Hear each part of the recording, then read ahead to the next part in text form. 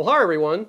Rapidan Dam is back in the news, at least uh, the bridge associated with this project. So let's roll this footage. It just came out yesterday.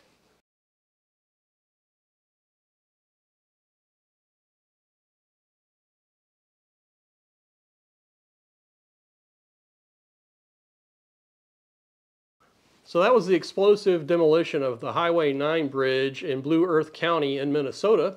This is the location about 10 miles south of Mankato. This is what the dam looked like in better times. The whole dam was scoured out on the left abutment uh, during a flood event at the end of June 2024. I did a number of videos about this.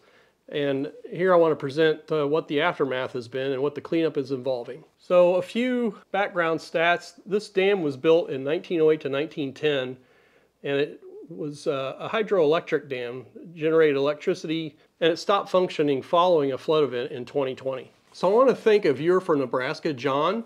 He was kind enough to send me this 1922 vintage postcard of Rapidan Dam with very neat yet very small cursive writing.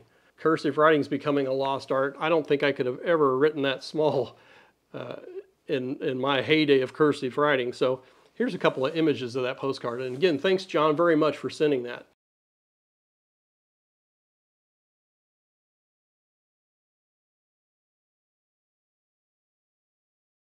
That's the, the cool thing about having this channel. All kinds of people reach out, share information. I learn all kinds of new things, so I really appreciate it. So as a reminder, this is what flood event looked like at the end of June 2024. Overtopped and scoured out the left abutment as well as the bridge piers. The highway bridge was closed immediately. I had this drone footage done back in August of 2024. You can see all the debris that accumulated on the upstream side of the pier. And of course the scour hole developed on the downstream side of the pier undermined the bridge pier footing, and exposed several feet of piling. So this is the bridge that you saw in the opening shots that was demoed. I'm going to show more of the demolition footage here in, in a moment. But quite the mess. On the left-hand side, you can see a parking lot slab. There used to be a store called the Dam Store that sold pies and burgers and the people who ran that lived in a house that unfortunately fell into the river. Now let's look at some of the scour underneath the, the bridge pier. You see the exposed piling. So the county determined that the bridge really wasn't salvageable and instead they were going to have to replace it at the cost of about $20 million, I think was the last estimate that I heard. But these piling were installed through the silt that had accumulated since 1910 behind the dam, and they were in bearing on bedrock. So once the soil around the piles were scoured out, uh, the capacity was inadequate for the piling. But these are great drone shots. This is a drone flight I commissioned, as I mentioned, back in August of 2024. just a view of the bank that scoured out. And this was my most uh, recent video on the project. Now let's roll this demo footage. This is sped up to 12 times normal speed because it took a long time for the dust cloud to dissipate. So I figured you don't need to watch uh, three minutes of a dust cloud dissipating. So here we go.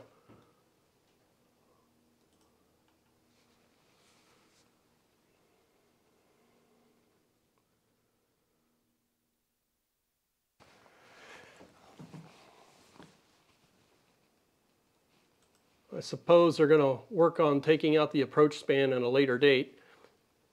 So I've got an update for you on the timeline. So I reached out to County Engineer and Public Works Director Ryan Thilges, and I sent him this email, and this is what he responded with. I asked him what the completion date for the demolition would be, and he's looking towards the end of February 2025 for interim completion date for removal of all bridge components between piers 1 and 4, including removing piling on piers 2 and 3. The completion date for the remainder of the bridge removal and site restoration is April 7th, 2025. Then I asked him how much the demo contract was, and it was $1.1 million to Hosier Worldwide. They're planning to remove the dam completely, and there's no definitive timeline set for that, according to Mr. Thilges, as there are numerous variables outside our control, including FERC licensure surrender. FERC has jurisdiction because of the power generation permit, FEMA funding, and potential need for additional state funding authorized by the legislature to help span any potential FEMA funding gap, project environmental documents, and permits. But it's estimated that the demolition work for the existing dam will start in the beginning of 2027, so a couple years away. So with that, I have a book review here, well, mini review. I've been talking about books that I have read recently.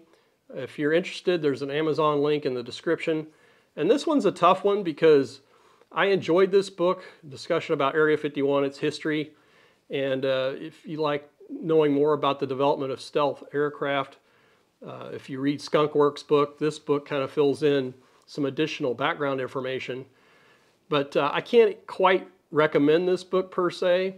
Um, at the end of the book, uh, there was something from the author that I think largely discredited the book in its entirety, and that is uh, she, the author apparently met with a confidential informant.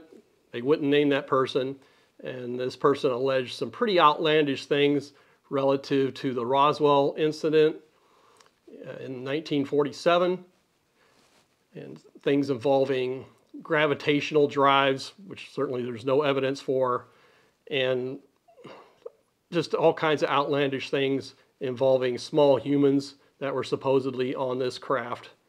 And I, I don't want to go into details, it's too, too goofy for me. But anyway, it was an unusual enough book that I thought I'd at least mention it. So I want to send a shout out to those of you who contributed to Buy Me a Coffee. That's been an excellent source of support for this channel. I use those funds to defray production costs, uh, drone flights, things of that nature. And now lately, some costs I'm incurring to fend off people who would like to muzzle uh, me on this channel. I mean, I'm exercising my First Amendment rights. I'm not going anywhere. I'm not backing off on these stories. Uh, Rapidan Dam's not really a controversial story, but I cover others that uh, people in government agencies don't seem to appreciate. Uh, also, I want to send a shout out to those of you who are channel members. That's another way to support this channel, as well as those of you who provided super thanks. Again, I really appreciate it. Thanks very much, everyone, and please stay tuned for future videos.